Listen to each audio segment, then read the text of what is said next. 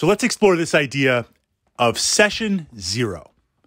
Now, ideally, when I sit down to run a Dungeons and Dragons game, I want to play what I call a campaign, linking multiple adventures together with consequences, with a background, with a story, with a narrative that together, the players and the DM, we can craft and create this world. And while I might have my story notes and I might have an idea of the campaign from the perspective of a dungeon master, I, I really don't know how it's going to end. So part of it is this amazing discovery process. Session zero is where before we begin the first adventure, and this could be an informal thing 30 or 40 minutes before, or it could be its own session in itself, we sit down and we talk about character creation. We think about what we're going to want to do. And from the perspective of a dungeon master, I am a big believer in ownership of your character. I want you to be excited. I want you to be passionate about the character that you're going to play because in doing this, that that that passion, that uniqueness is going to come across in the game and it's going to make the game more dynamic. So I am always open to playing any type of character class or vision that you have. Even if it means pulling in a specific type of character from a different source book or working with something specific, if we're playing in a specific setting, you want to bring in a Warforged and we're not playing Eberron, we'll figure out how to do it. So this way you get excited about the character you want to play. We also use this idea of session zero to talk a little bit about character background.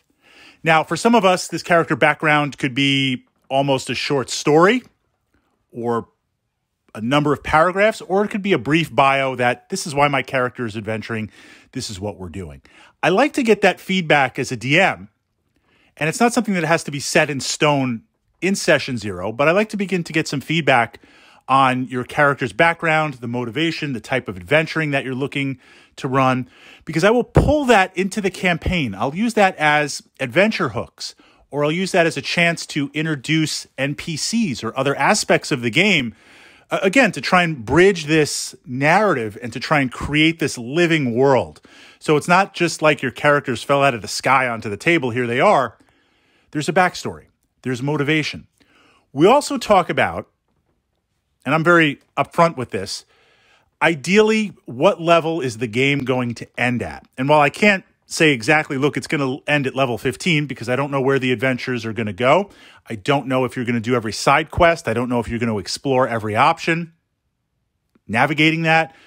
But I'll say, hey, look, we're going to start at level one and we're going to end anywhere from level 10 to 12 or, or 12 to 15 because some character classes play radically different at different levels.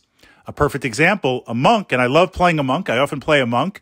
At the mid to higher levels, they, they really start to come into power.